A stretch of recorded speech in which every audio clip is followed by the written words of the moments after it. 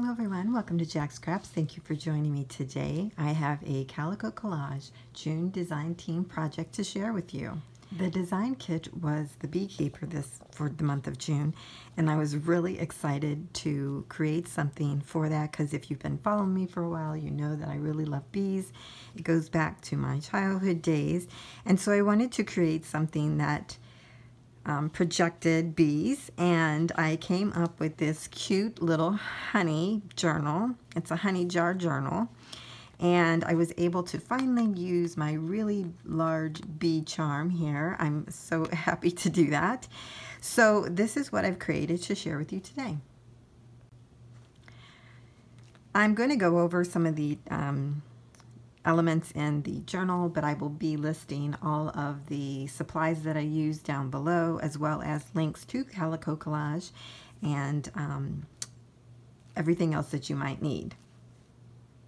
So for the cover, I used um, heavy cardstock as well as um, scrapbook paper, and that made it really thick, which I like that. And um, I used some cheesecloth here and did some layering and then I did some embossing on the bee as well as the beekeeping name here. I added some fabric that I had in my stash and I added some burlap twine. On the back side I added some more fabric and this little bitty label here so that I could put like homemade by Jacqs Scraps on it. I thought that was cute and mirrored the front. Okay, so let's go in and see what we have.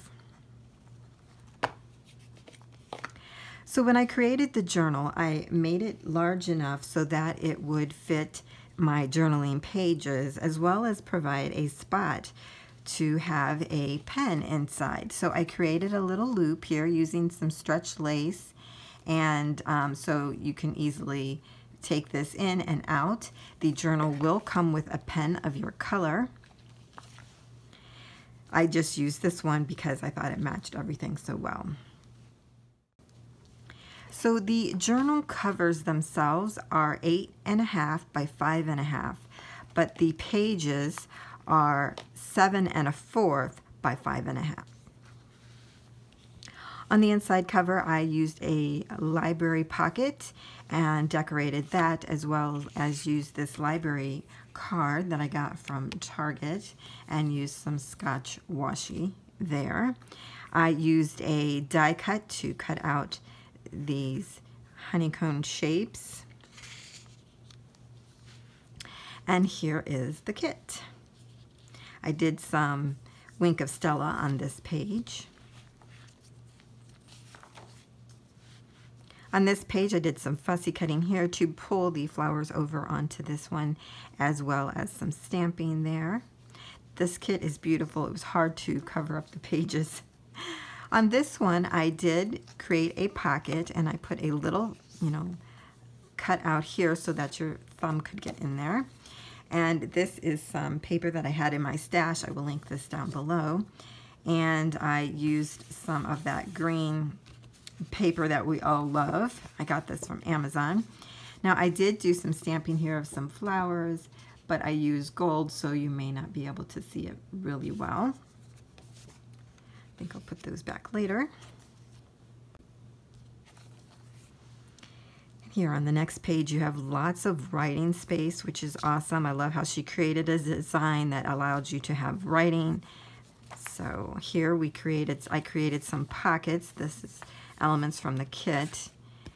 Now I did some sewing, I did some decorative sewing here and then straight stitched the rest of the way around and then I added some coffee dyed paper on the back for writing.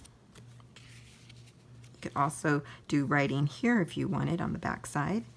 Now here I did a half of pocket and I put in another of that paper pad that I had because it just went so well with this kit. Here's another great page for journaling. I did just add a little flag here. This is um, glued all the way down. Here's another top pocket here and another little journaling card that I did some decorative uh, sewing and then added some coffee dyed paper on the back as well. On this page, I added some fabric as well as I cut out one of the little bees that looked like a button and did some glossy accents on that. I really love those little buttons. On this page again I used that die, I love this, and did some decorating. And when I cut this out, it left this image on the paper and I liked it so much I wanted to use it. So once you cut this out, this is what you were left with. So I love that decorative pocket there. And this cute little journaling card. On this page, I just added a little bit of fabric there. Created a long belly band here, added some lace fabric, and created this cute little booklet Again, using cheesecloth and some elements from the kit. And this is tea dye or coffee dyed paper. Over here I just did some layering again with the die cut out of the honeycomb there. Created a little pocket here and she had these cute little slim tags in her kit. Love that. And I did some stamping here. This is from Maggie Holmes Stamps, More Sunshine and Flowers. On this side, you create a little flag tuck with a bee, and I used another one of those skinny tags and cut it down a little bit to fit right here. Again, these pages are so beautiful, it's hard to cover them up. I created a little pocket out of this page as well. And here is the tag for that. You could put pictures on this and write on them as well.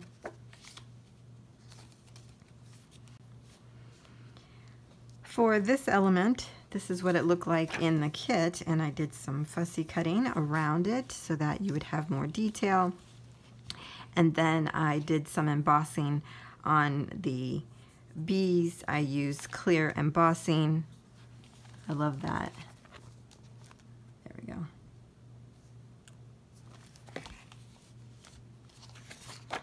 And then I did leave this one bee that was on here so that it would give dimension. For these little tags, I created just like a little booklet of tags, shrunk down one of the pages.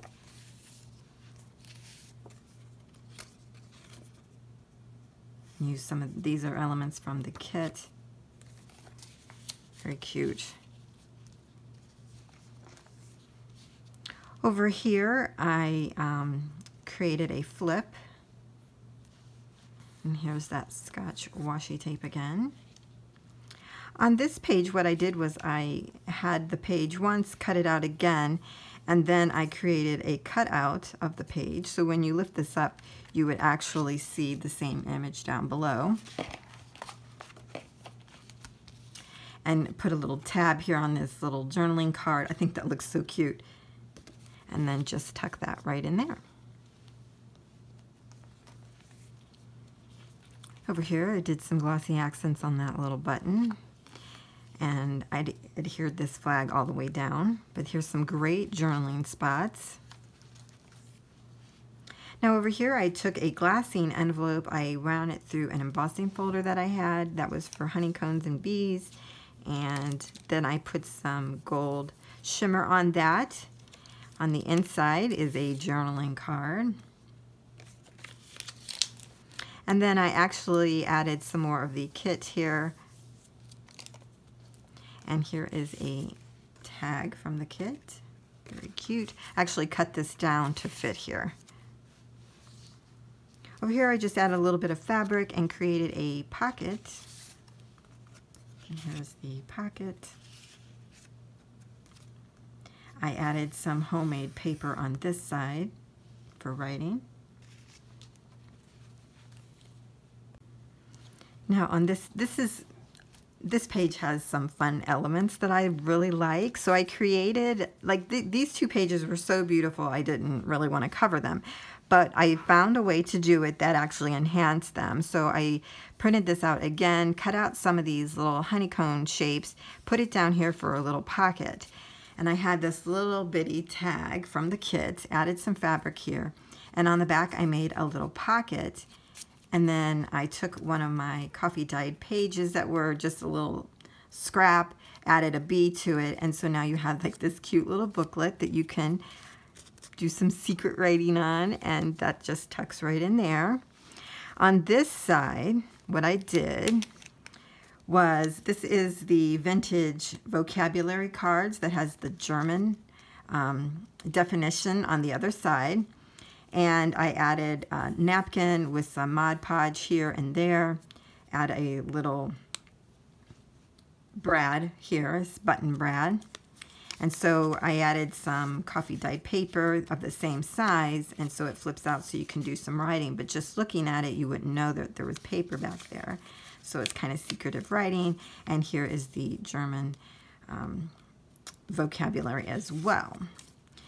Now, when I attach this, I use clear photo corners so that it's kind of just floating on there. Doesn't impinge on the decorative page, but how cute is this? I love it. Our next page is a great place for journaling. I did just add a little bit of washi to make it look like it was holding the page down create, this was an element in the kit and I created a side pocket out of that. This was in the kit as well. I love this page so that you can mark the month and day and year on it and do some journaling.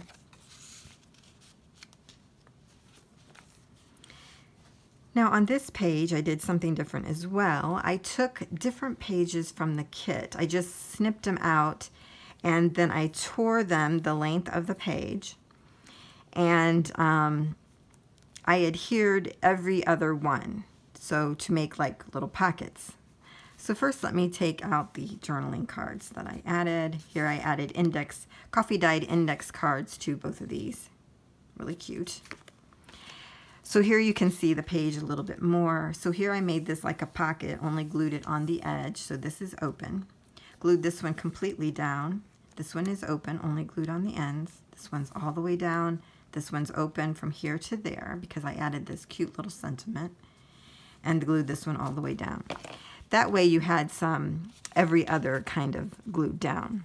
So then you can just tuck these right underneath those that are open and create this cute little design. I love that. On this page, I did just add some fabric and this cute little flower. Here is a poem that's included in the kit. I love this page. Over here, I kind of wanted to um, separate the two pages, and so I added a piece of ledger paper and one of the elements from the kit is like a half page. And here's the other one, and I created a pocket out of this page. And here is this. Did a little bit of collaging here with a doily and a stamp that I got from AliExpress added some paper on the back and one of a die cut bee that I had.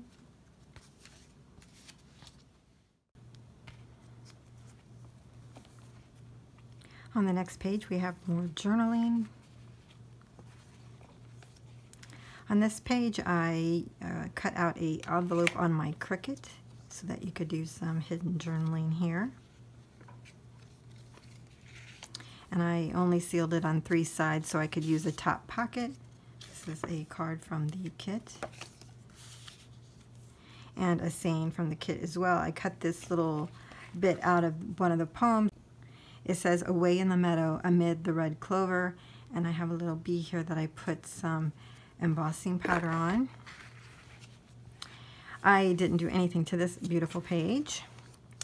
Here's more journaling with some washi on this page I added some crocheted lace as well as some burlap and some twine to hold this vintage slide mount and um, I added scrapbook paper to the front and the back of it to give it a bit of a modern look and added the bee in the center. And on the last page here, I thought it was kind of fitting it says a journal devoted to bees, honey, and home interests. And I thought that was a nice way to close it up as if it summed up what the journal composed of. On the back cover, I created my own library pocket and added this from the kit, just a little bit of a cutout. And did some layering again with some crocheted lace and pieces from the kit. And there's the lovely pen and the back. So that's my design team project. I hope you all enjoyed it as much as I did in creating it. And um, if you stay tuned, I have a silent walkthrough of the journal as well as images of all the kit pieces. Thanks so much, everyone. I'll see you next time.